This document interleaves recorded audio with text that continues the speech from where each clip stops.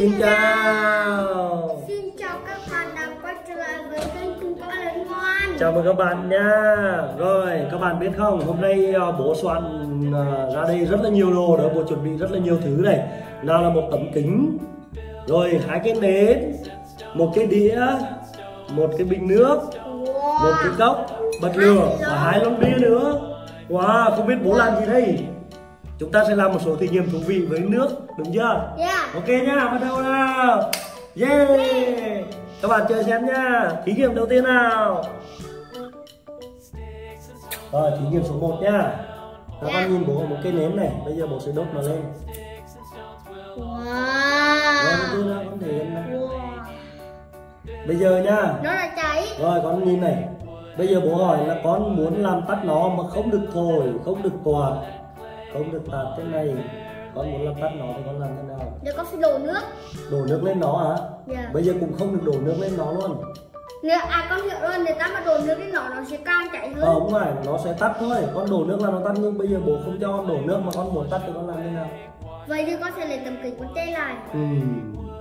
Bố hướng dẫn nhá. Đơn giản con lấy cái cốc. Con đút lại cho bố mà con giữ chặt Một lát thôi Con nhìn này, nó cháy, nó cháy, nó cháy. Nhưng, nhưng, nhưng. Nhưng, nhưng. Nó đã tắt. Con hiểu không? Dạ con Con hiểu chỉ cần dằn cái cốc lại cái này, úp cái cốc lại là nó đã tắt rồi. Nguyên nhân này là nó cháy là cần oxy nhưng khi con úp lại á là nó sẽ đốt hết oxy. Nên nó sẽ hết oxy. Và hết oxy là nó tắt. Con nhớ chưa? Dạ bố phi nhất Rồi. Lúc còn lửa cho con thử làm nha bố. Ok anh Vin thử làm con. Rồi từ từ anh Vin làm trước nào rồi con làm nhé. Con này chặt đừng cho oxy vào nhé. Oxy không vào được đâu và ngươi sẽ sẽ sẽ tắt rồi. Được chưa? Có hiểu chưa? Rồi đến uh, em su nhé. Em su đây lại nào. Đợi bố thì làm bố quay em su này rồi em su đây góc lại đi. Con này thấy lửa tắt đấy. Con thấy lửa yếu dần không? Đúng chưa? Ngọn lửa yếu dần và ngọn lửa tắt rồi đúng chưa? Rồi ok như vậy con hiểu chưa? Rồi. Bây giờ thí nghiệm số 2 nhá con nhìn này thí nghiệm số 2 bố có một thí nghiệm khá là thú vị cho các con. Bây giờ bố sẽ bỏ hai cái nến một lúc. Hai cái nến một lúc nhé Dạ. Rồi bây giờ bố sẽ đổ một ít nước vào đây nước Một ít thôi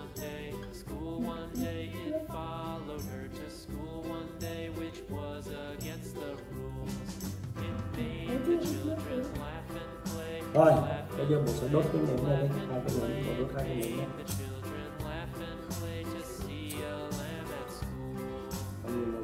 từ hai cái nến cháy chưa? Dạ rồi. Rồi. Bây giờ bình thường á nghe này các con nhìn nhá con phải nhìn chú ý thật chú ý nhá. Nếu bố một cây cốc như thế này vào cái chậu vào cái đĩa nước này vào cái đĩa này con thấy không? Nước nó chỉ ngang ở đấy thôi con hiểu không? Dạ con nhìn thấy ngang đấy chưa? Rồi nhưng điều gì xảy ra nếu bố úp cây nến vào trong cái cốc này? Bây giờ con nhìn nhá. Dạ con để như phải thế thật chú ý. Để cho bố này nhìn này. Bố úp lại này. Con nhìn nước con nhìn nước. Con thấy nước điều gì xảy ra nào? Con Nước nhìn hẳn lên. Con thấy điều gì xảy ra? Nào con nói cho bố nước ở bên ngoài đĩa thế nào? Nước bên ngoài thế nào? Nước bên ngoài không tràn vào. Nước bên ngoài thế nào à nó đi vào bên trong cốc hết rồi con thấy không? Dạ thấy. Tuyệt diệu chưa? Rồi chúng ta sẽ thử lại.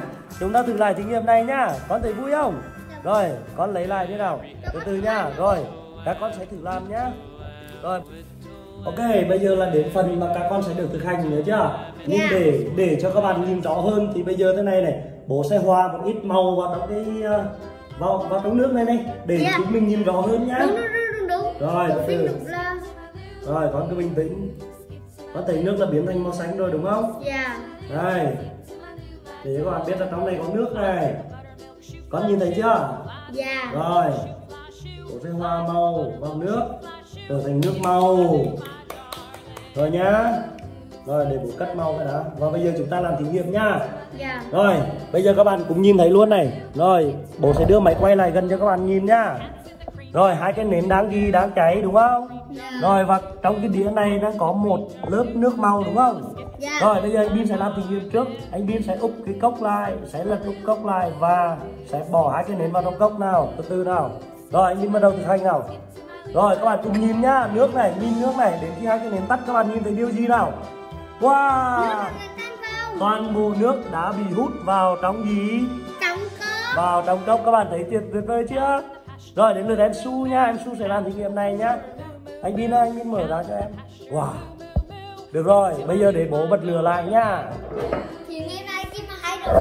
có thể thấy không? Dạ hay. rồi để bố bật lửa lại cho em. Nào em làm thí nghiệm nhá. Ok từ từ này. Để bố bật lửa lại nhá. Ồ, bị tẻ nước rồi là nó thế. Rồi, em su nào Rồi, em su làm nhanh quá, đúng không? Bắt đầu nước lên Nước bên ngoài thế nào nhỉ? Nó sẽ tan lên. Nước bên ngoài sẽ bị càn và nó đi vào trong cái cốc này, con thấy không?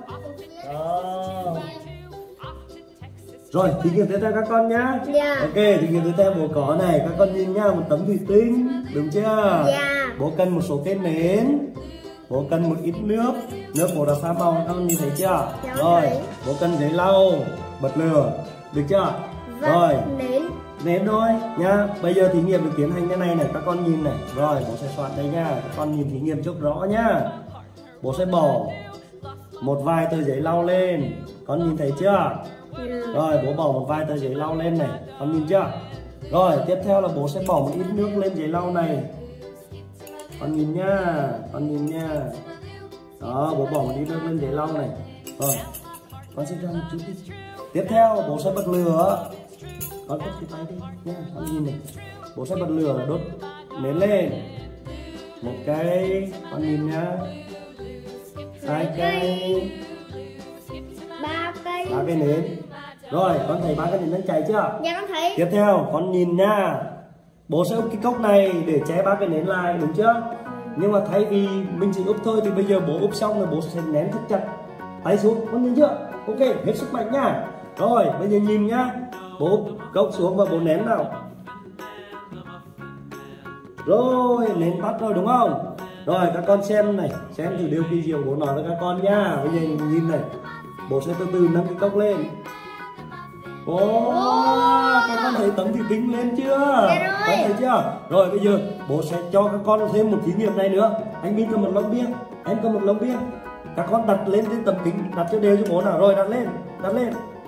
Wow, nó có thể nâng được cả hai lon bia nữa này. Con thấy không? Dạ con Con thấy. thấy tuyệt vời chưa? Dạ tuyệt vời. Đây, các con thấy không? Đây, sức mạnh của nó này, cái cốc mà có thể nâng được cả cái này này, nâng được cả lon bia. Không, cái này thì ăn thua gì? Được chưa? Đấy, mình có thể bỏ thêm được một số vật khác nữa nhưng mà để các con biết cái thí nghiệm này đã thành công được chưa? Bây giờ là các con sẽ làm nhé. Dạ. Được chưa? Anh đi làm trước, em xuống làm sau. Ok. Ok. Rồi. Bây giờ bố sẽ giúp anh Bin Rồi, chúng ta cùng xem anh Bin làm thí nghiệm nha. Rồi, chúng ta xem anh Bin làm thí nghiệm có thành công không nào. Rồi, anh Bin bắt đầu nào. Bỏ giấy lên nào. Rồi, con bỏ đi. Con gấp lại con bỏ. Rồi, một tờ giấy nào. Tiếp tục một tờ nữa đi con. Đấy đi. Rồi, để rớt, để rớt mất. Rồi, bây giờ là nước nào. Con bỏ nước lên. Bố sẽ thắp nến cho con.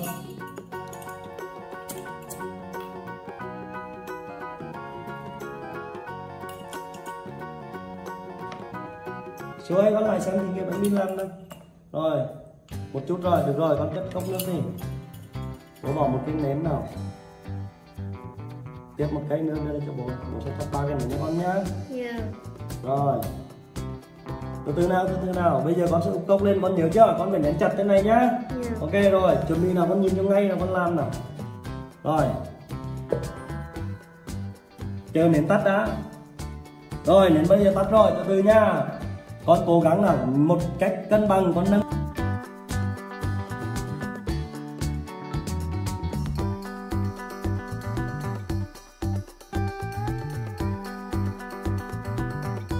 Rồi, đừng cao quá, không cao quá, không cao quá. Nào, từ từ nào. Đây, các bạn nhìn này.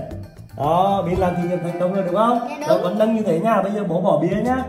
Rồi, đấy, em su bỏ với bố nào, một lon hai lon. Một lon trước, một lon trước nào, con thả ra nào. Anh Vinh có bưng được không? Dạ được. rồi từ từ nào lon thứ hai nha. Rồi bỏ lên chưa nào? Có nặng quá không anh Vinh Dạ không. từ từ nào anh Vinh nâng như thế nha như vậy chúng ta có mấy lon bia? Dạ bốn lon bia. rồi chúng ta có bốn lon bia. Với tuyệt là vời một chưa? tấm kính. tuyệt vời chưa? Bố với là một tấm kính. rồi với một tấm Đấy kính nữa. Đấy. rồi đứa bộ bưng chưa? Đứa bộ bưng chưa bộ, bộ nâng nha. Các con nhìn này các con nhìn thấy sức mạnh của nó chưa? Cái sức mạnh của nó rất là kỳ diệu. đây các bạn nhìn nha đây có thể nâng được bốn lon bia này có thể chắc bố nghĩ là phải hơn đó. Đúng không? Con nhìn này thấy chưa? Chắc là có thể nâng được uh, 10 lon bia đấy. cũng có thể đấy nhưng mà thôi chúng ta chỉ cần làm thế này là đủ rồi đúng không? Đây chúng ta có thể đưa tay bên dưới này con thấy không? Đó các bạn thấy thí nghiệm bật pin thành công chưa? Đây tuyệt vời chưa? Con thấy thí nghiệm vật lý có vui không? Dạ vui. đây những thí nghiệm này đều liên quan đến áp suất con nhớ chưa? Áp suất. áp suất. Áp suất. Rồi hôm sau con sẽ học sẽ hiểu nhá. Được chưa? Đây con thấy này. Bố có thể nâng này. Nó rất là nặng nhưng mà nó có thể nâng được đúng chưa? Tuyệt vời không? Dạ tuyệt vời. rồi, rồi và để các bạn biết uh, thực sự là nó có thể chịu đựng được đến mấy lon bia thì chúng ta bắt đầu làm tiếp nhá. Bố sẽ nâng ở đây này được chưa? Con từ từ nào con? Con khoan đã bỏ. Rồi bố nâng ở đấy nhá. Rồi chúng ta cùng bỏ nào bỏ thêm một lon nữa nào. Xem thử nó chịu được không? Dạ nó chịu được. nó vẫn chịu được các bạn này. Rồi chúng ta bỏ thêm một lon nữa. Con bỏ thêm một lon lên nữa wow nặng quá bố sẽ đổi tay này. Các con nhìn nha các bạn nhìn này. Ủa nó không nâng được. nó nâng được một lúc tám lon bia này có thấy không? Dạ con thấy. kỳ diệu chưa? Dạ kỳ diệu. thấy hay không? Thấy hay không? hay. đây bố có thể đưa tay Wow. đó con thấy không? Dạ. tuyệt vời chưa? Rồi các bạn sẽ làm và sẽ thành công nhá. Chúc các bạn sẽ thành công này. Đó tám lon bia bố bạn- rồi hơn đấy ok bắt đầu thí nghiệm số 3 nhá bây giờ bố có thí nghiệm rất là thú vị cho các con này các con nhìn nhá Dạ. bố có những quả trứng luộc được Bố- chưa bố Trứng- có ba quả rồi trứng. ba quả trứng luộc này bố có một cái bình, Bình. bằng thủy tinh được chưa con Dạ. rồi bây giờ nhiệm vụ của chúng ta này là chúng ta sẽ bỏ làm sao cho quả trứng vào được trong bình này con thấy có khó không Dạ khó. là vì cái bình miệng nó Nhỏ. miệng miệng nó nhỏ đúng chưa con Con quả trứng thì nó rất to. to không thể vừa được đúng chưa Dạ đúng. bây giờ muốn bỏ thì chỉ có cách là chúng ta cắt nó ra cho nhỏ để chúng ta bỏ vào đúng không Đúng. nhưng bây giờ bố không cắt mà bố vẫn bỏ nó vào được trong bình này Wow. được chưa bây Dạ. giờ bố sẽ làm thí nghiệm cho các con coi nhá Dạ. rồi bố sẽ làm thí nghiệm đầu tiên để bỏ quả trứng vào bằng cách là bố sẽ bỏ đây một ít nước nóng các con nhìn nhá bố sẽ bỏ vào đây một ít nước nóng được chưa Dạ. rồi bây giờ đợi bố lấy nước nóng nhá Dạ. rồi đây bố nóng nhá Dạ. Một phía sẽ lấy một ít nước nóng.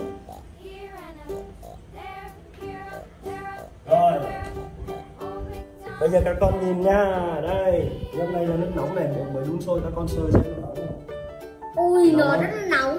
nóng lắm nóng nha bây giờ bố lắc lắc tráng một tí này. Con thấy bố tráng nó hơi nó bay lên nha. Rồi nhìn nhìn này.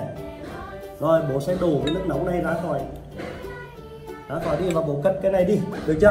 Rồi con bỏ. Quả trứng lên bỏ trứng lên thế này. Rồi rồi rồi, rồi bỏ ra bỏ ra con từ từ nha con chờ nhá. Con được thấy điều thú vị này. Con đợi đi con nhìn con nhìn quả trứng cho bố nhá.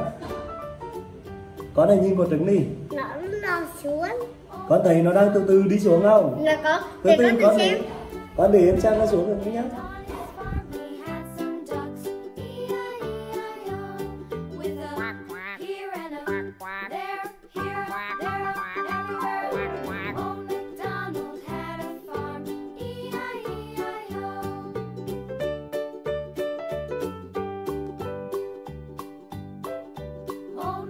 như vậy là vào một nửa thôi vì quả trứng bị nó bị mềm quá đúng không? Dạ. như vậy con thấy quả trứng lọt vào chưa? Dạ rồi. nhưng mà không nguyên vẹn lắm đúng không? Ok bây giờ chúng ta sẽ lấy quả trứng ra. Chúng ta có thể làm lại thí nghiệm này. Rồi bây giờ bố sẽ làm một thí nghiệm số 2 nữa tức là cách số 2 thì chúng ta sẽ đưa quả trứng vào trong cái chai này được chưa con? Rồi các con nhìn Bằng cậu. rồi bằng cách thứ hai lúc nãy chúng ta dùng nước nóng đúng không? Dạ. rồi bây giờ cách thứ hai các con nhìn này. Bố sẽ đốt một cái màu giấy. Không không sao đâu con thấy bố đốt một màu giấy chưa Dạ con thấy. rồi bố sẽ đốt này và bây giờ bố bỏ cái màu giấy này vào trong này tắt rồi bố bỏ lên có thấy Wow. không có thấy không Nó rất là nhanh hơn. đó Nó nhanh hơn nó con lọt ra rồi nhưng mà vì quả trứng nó mềm quá có hiểu không Dạ. quả trứng của mình mềm quá Vì nó nhanh hơn. đó Nó nhanh lọt vào hơn. con thấy quả Đúng trứng nó không? mềm quá này Dạ đúng.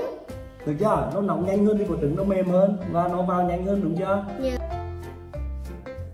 Rồi các bạn à, thân mến thì à, các thí nghiệm hôm nay nhá bố nói với các con này. Bây giờ thì con chưa hiểu nhưng con sau này sẽ hiểu nhớ chưa? Dạ. đó là những thí nghiệm liên quan đến áp suất. Áp suất. Rồi áp suất.